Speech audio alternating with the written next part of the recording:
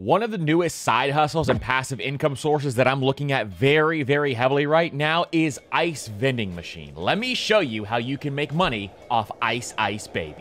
Now, ice vending machines are a boring business, but one thing about this boring business that I absolutely love is that you can create passive income and generate an income for your life just by investing in these ice machines. And if you're a busy person who works a 9 to 5, you don't want to have to find a side hustle that's going to take up a bunch of your time. Instead, you want to find something that can replace your income eventually, but you don't have to spend a lot of time doing that. Ice machines solve that problem.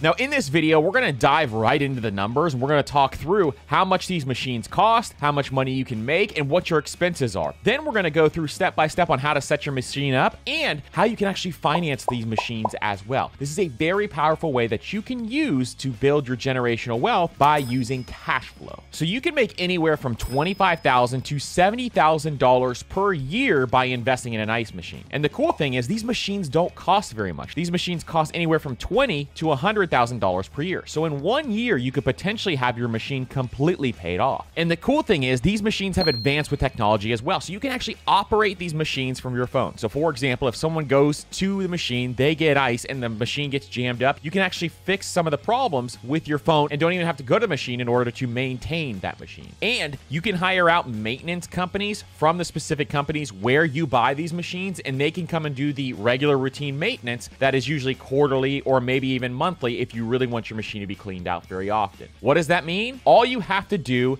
is collect the money, refill the bags, and make sure that this machine is serviced and manage the people who actually service the machine. This is something that could take you a couple hours every single week, and you can make twenty-five to seventy thousand dollars per year. Now let's break down the numbers. A lot of these machines they charge one dollar and fifty cents to a dollar seventy-five cents per bag of ice that you get. Where if you get ice delivered from anywhere across the country, it's going to cost you five, ten, 15 to $20 just to get ice delivered. So this is a great value that you're offering to your customers. But let's take the low end when we run our numbers here because we always want to take the low end when we are looking at side hustles or investing into businesses. So at $1.50 per bag, a good machine will sell about 75 bags per day. So if you sell 75 bags per day at $1.50 per bag, you're going to make about $112.50 per day. Now, if you multiply that by 30, you're going to have $3,375 per month in top line revenue, meaning gross revenue that you have made without expenses yet. So let's factor in some of these expenses. So what is your cost of goods sold? Meaning how much does it cost for you to produce each bag of ice? So typically it's going to cost right around 15 cents per bag. So I've spoken to a number of the ice machine companies. They say it's right around 15 cents per bag. That includes the water, the electricity, all of those different pieces. So that means at 15 cents per bag, it's going to be $11.25 that you have to pay each day to produce these ice bags. And that means it's going to be $337.50 as cost of goods sold per month. So this brings our profit down to $3,037.50. Now we have some other expenses as well, because the cool thing about these machines is you can finance these machines. And we'll talk about ways that you can finance them in a second. But let's say, for example, you finance the machine and it costs you $300 per month. Then you have to rent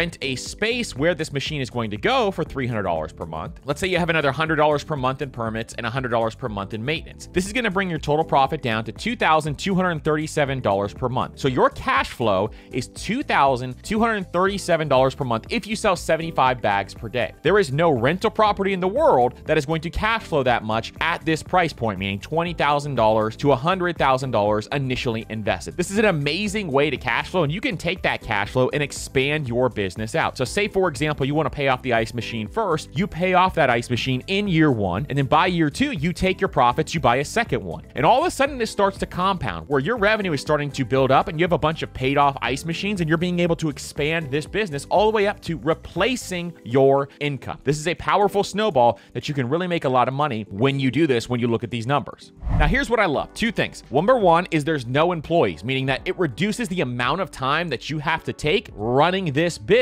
because employees are going to take a massive amount of your time. Number two, it is somewhat passive, meaning if you're looking at a passive income spectrum, and on one end is completely passive, and on the other end is not passive at all, something like your day job, then you're looking at something here where it is almost completely passive because you can run this with your phone. All you have to do is make some calls to some maintenance folks and you collect the money, which is the fun part anyway. Now let's look at a step-by-step guide on how you can actually set this up if you want to start investing in ice machines. You see these numbers, you say, hey, I want to replace my my day job income with something like an ice machine, how can I go about doing that? Number one is you have to choose a location. Location is the most important thing when it comes to this business. The same thing for real estate. Location, location, location. When it comes to ice machines, we are also talking about location, location, location. Now, where are some good places to place your ice machine? So I've talked to a number of different ice machine owners and I've talked to some of the companies as well. Here are some places they talk about. Number one is convenience stores. People go to convenience stores to get ice. If they don't offer ice at those convenience stores or maybe the liquor store, then you can offer ice at that location. Number two is car washes, strip malls, grocery stores, places that have a lot of traffic in that area who may potentially want ice. Number three is RV parks. RV parks, they're always going to need ice to keep their food and drinks cold inside of their coolers, so you want to look at that area as well. Four is sports complexes. This is an amazing place because parents and kids are going to those sports complexes. They're going to be competing all weekend long, and they're going to need ice for their coolers and for their team's coolers for Gatorade, sodas, all those different pieces. Parking lots with easy access. So if you see parking lots where there is a lot of traffic going by every single day, then that is another great place to have these. And then any route on the way to a beach or a fishing area or marina, these are all places where people are going to have high traffic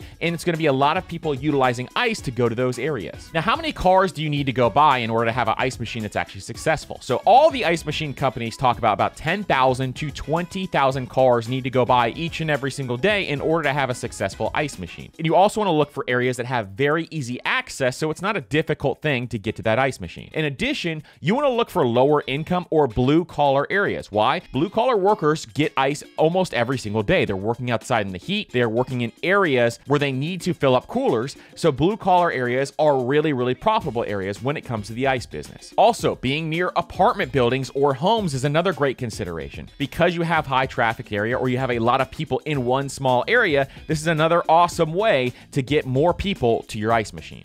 So the more of these criterias that you can hit, the better. Because if you can find a bunch of these in one location, then you just hit an ice machine gold mine where you can increase the amount of money that your money makes by investing your dollars into that ice machine. Now, how do you set this thing up? So the first thing you're going to do is it once you find a location, you're going to put down a concrete pad. And the concrete pad is not required, but most people suggest that you do it to make a more presentable area. Then what you're going to do is you're going to set up your utilities and you're going to set up your electricity. So for your electricity, you're going to need a 220 volt outlet, and you can call your local electricians and they can help you out with this because they're going to be installing this. And then when it comes to your plumbing, you're going to need a half inch to three quarter inch supply line with a shutoff. So talk to your local electrician, talk to your local plumber, tell them what you need once you start working with that company, and they're going to be able to set you up and put you in the right direction. Now, what is the ongoing regular service of the machine? So for you, the owner, what you have to service when it comes to the machine is number one is collecting the money. You have to collect the money, make sure it doesn't get jammed up. A lot of machines now use credit cards as well, and that probably the best option for you. I'm, I'm assuming most people will use credit cards, but you also want to go in there, collect the cash, collect coins if you accept coins, all of those different pieces. You also have to load the bag. So the ice machines have bags. You want it to already be pre-bagged. You don't want them sticking their coolers underneath there. Pre-bagged ice is a better service and it's a better thing for your customer. Then you may have to do minor mechanical maintenance if something gets jammed up and you know how to do it. That's the third option if your machine is not working. But like I said, a lot of machines now, they work off a phone. Even the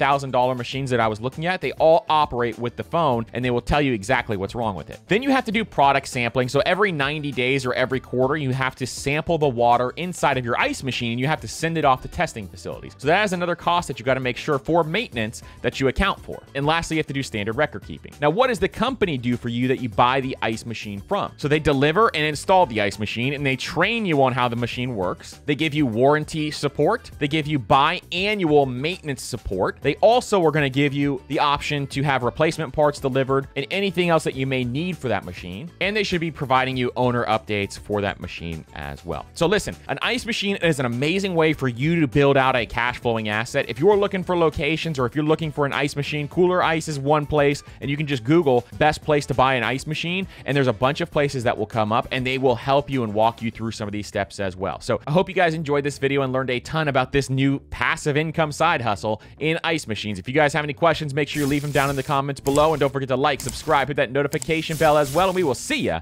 on the next video.